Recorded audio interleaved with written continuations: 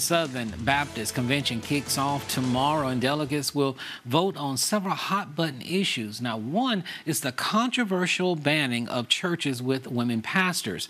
WVUA 23 Zoe Blair spoke with one local pastor who's against that idea. Zoe, good evening. Good evening, Jabari. Cornerstone Full Gospel Baptist Church pastor Freddie Washington says banning women pastors would be a huge mistake. He currently has 10 women serving in these roles and says that will not change anytime soon.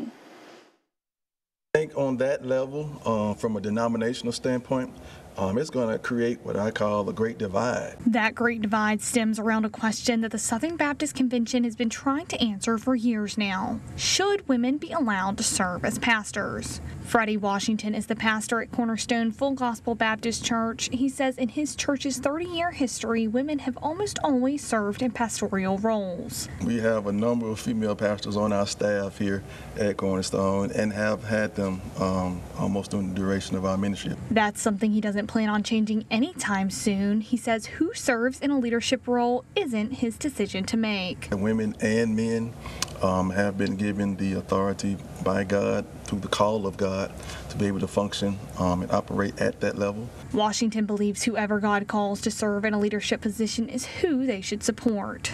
In my opinion, um, it's not man to judge whether or not one has been called into ministry at that level, um, but we do embrace that, we do promote that, and um, we have encouraged that through um, women that are part of our ministry as God elevates them um, into areas of leadership here. Washington says if the Southern Baptist Convention votes against female pastors, there will be an extreme divide between churches. So those who uh, feel strongly about the idea of women in ministry being able to serve on that level um, will be on one side, and those who want to support the ideas that the convention seeks to continue to uphold um, will be on the other side. And he also expects many churches with female leadership to leave the convention. Based on conversation um, that I've had um, minimally.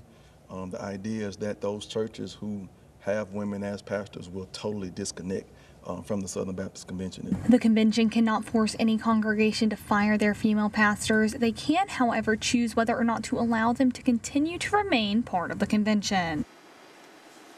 The de delegates will also discuss IVF, sexual abuse, and former President Donald Trump over the next two days. Jabari.